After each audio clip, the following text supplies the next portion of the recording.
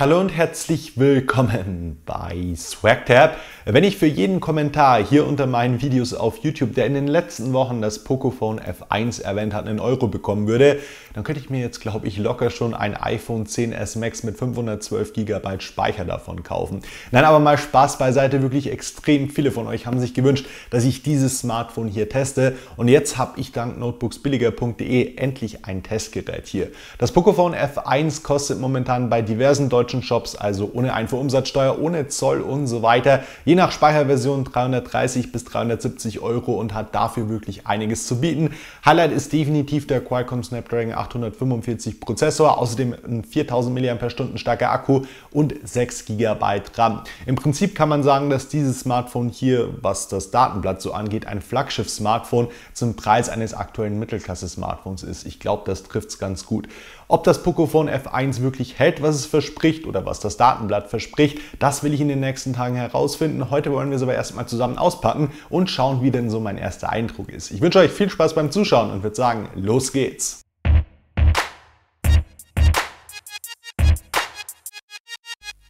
Das ist die Verpackung des Pocophone F1. Ich würde sie mal als ziemlich schlicht bezeichnen. Das Interessanteste auf der Vorderseite hier definitiv, das hier steht bei Xiaomi.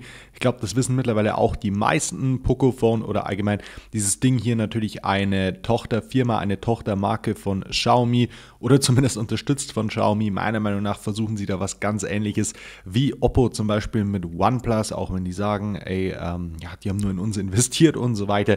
Ich glaube, wir wissen alle oder wir können uns alle denken, wie da die Verhältnisse Verhältnisse so sind. Ganz interessant, das hier ist die Global Version. Das Ding wird ja, glaube ich, unter anderem in Frankreich und ein paar anderen europäischen Ländern ganz normal verkauft. Bei uns hier in Deutschland stand heute allerdings noch nicht. Das ist etwas schade. Trotzdem können die ganzen Händler das natürlich problemlos importieren. Äh, es gibt zwei Versionen, einmal 64, einmal 128 GB Speicher. Das meinte ich auch am Anfang mit, äh, dass die Preise also zwischen diesen beiden Versionen natürlich schwanken. Und es gibt verschiedene Farben. Das hier ist schwarz, es gibt aber auch noch blau und rot, habe ich gesehen. Wobei das Rote, glaube ich, ist noch nicht so wirklich hier in Europa verfügbar. Ähm, ja, was gibt es sonst noch zu sagen? Hier stehen so die wichtigsten technischen Daten. Das werden wir im Laufe des Videos aber alles noch durchgehen. Und natürlich sind hier auch alle Siegel mit drauf, CE-Logo und so weiter. Wie gesagt, äh, das ist bestimmt für den europäischen Markt. Insofern glaube ich, gibt es hier auch keine Probleme irgendwie mit den LTE-Bändern. Das war ja bei den Xiaomi Smartphones oft so. Aber das ist bei deren Global äh, Smartphones, ja, also wie gesagt, da war das noch nie so.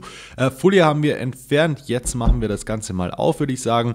Ähm, aber dieses Zusammenspiel so schwarz-gelb, alle Dortmund-Fans dürften sich freuen, das gefällt mir. Also das sieht hier ganz schick aus, aber der Deckel sitzt hier ziemlich fest. Ich hoffe, das fällt mir jetzt nicht gleich raus. Nein, das, äh, da haben sie zumindest mitgedacht und setzen hier oben drauf äh, dann so ein Tray.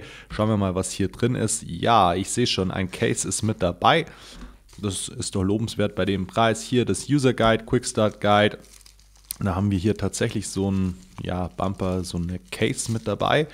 Durchsichtig, kann man natürlich verbiegen. Ja, fühlt sich jetzt nicht besonders hochwertig an, aber ey, es ist eins mit dabei. Das ist doch ganz nett. Ähm, mal schauen, wo sie sonst, also wo sie dann wirklich gespart. Und jetzt, es geht weiter, ey. Das Ding sitzt hier ziemlich streng drin.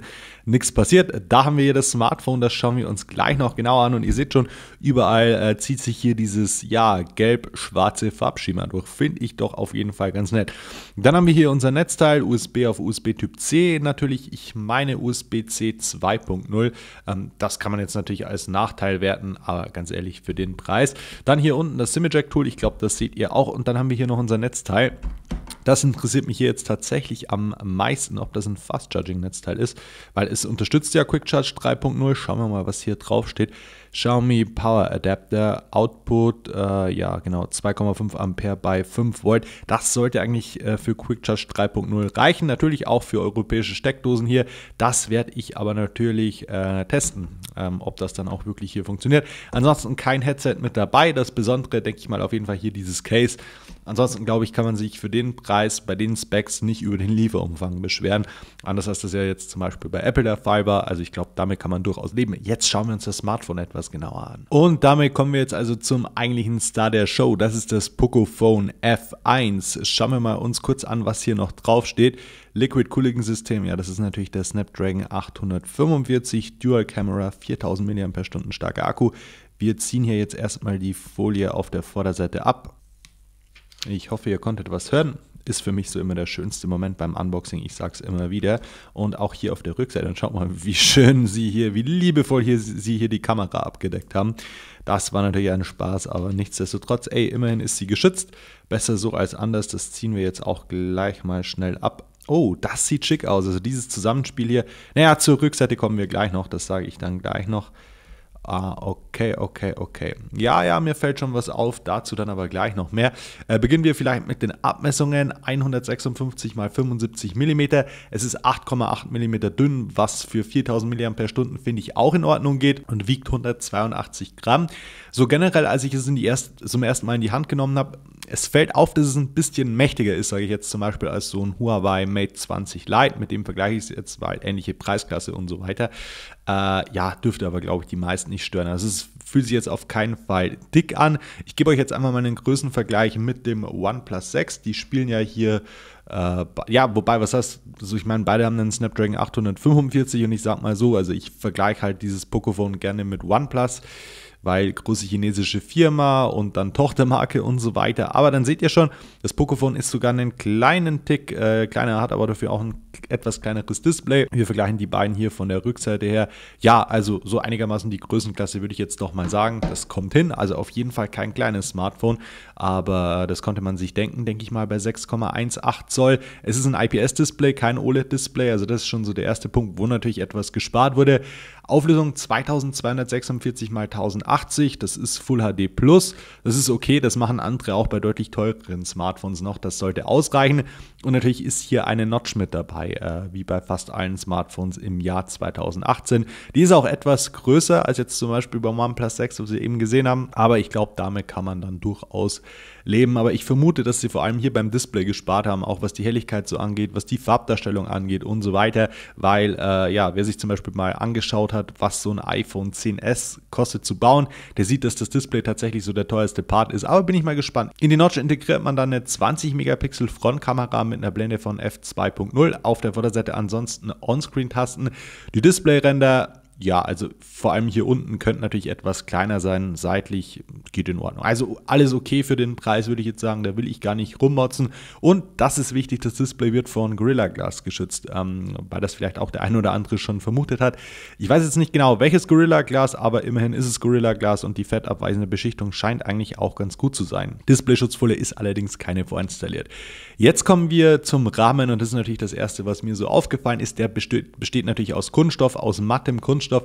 Und ich sage es jetzt mal so, von der Haptik her fühlt sich das Ding in etwa so an wie Smartphones vor, naja, drei, vier Jahren würde ich jetzt mal sagen. Lasst mich mal überlegen, mit was man das gut vergleichen könnte. Mir fällt jetzt gerade der Name nicht mehr ein, aber ich habe vor zwei Jahren oder so ein Xiaomi Mittelklasse-Smartphone getestet und das hatte halt auch so ein Unibody Kunststoffgehäuse.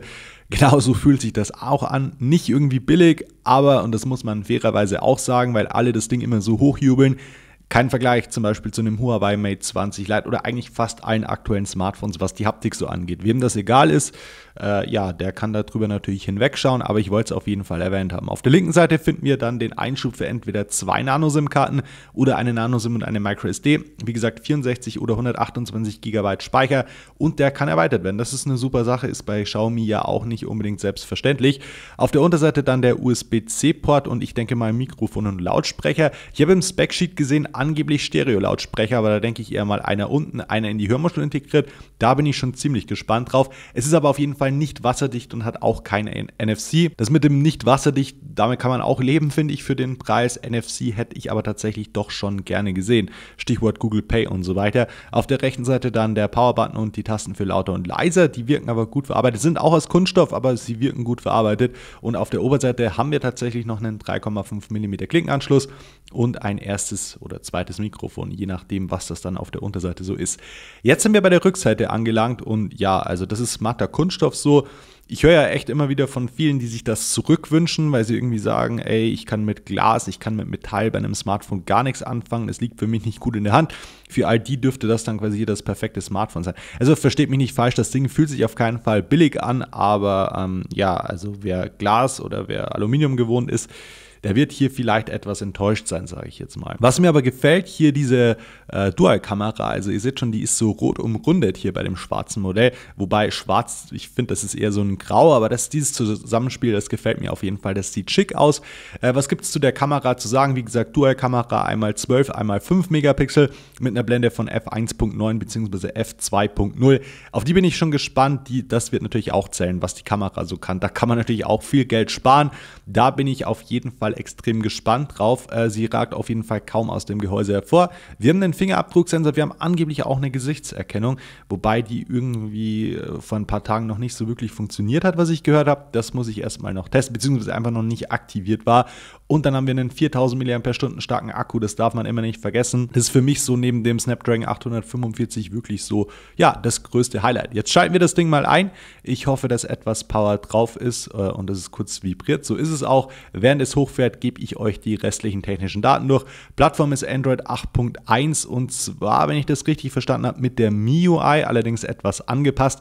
Leider kein Stock Android. Ich hätte hier unglaublich gerne Android One oder Stock Android gesehen, aber ihr seht schon hier MIUI 9. Bin ich, sage ich euch ganz ehrlich, kein großer Fan von, aber ähm, ja, muss ich mir mal wieder anschauen. Ich hatte jetzt schon lange kein Xiaomi-Smartphone mit MIUI mehr wirklich im Test. Schauen wir mal.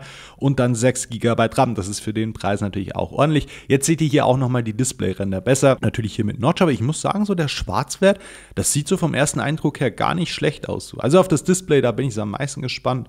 Auch die Blickwinkel, ja, das naja, ich muss es mir noch genauer anschauen, aber das scheint eigentlich alles so ganz in Ordnung zu sein. Aber ja, Leute, das war mein Unboxing des Pocophone F1. Erster Eindruck von der Haptik, ich glaube, das habt ihr schon rausgehört, bin ich nicht so begeistert vom Specsheet, von den Anschlüssen und so weiter. Dafür umso mehr. Ich bin gespannt auf dieses Smartphone. Test ist auf jeden Fall geplant. Wenn ihr das sehen wollt, lasst mich gerne wissen, was euch dazu interessieren würde. Irgendein Vergleich, vielleicht ein Benchmark-Video, irgendwas anderes oder irgendwas, was ich im Review auf jeden Fall mit einbauen sollte, mache ich dann sehr, sehr gerne. Ich hoffe, dieses Video hier hat euch gefallen. Ich sage in dem Sinne vielen Dank fürs Zuschauen und bis zum nächsten Mal. Macht's gut. Ciao.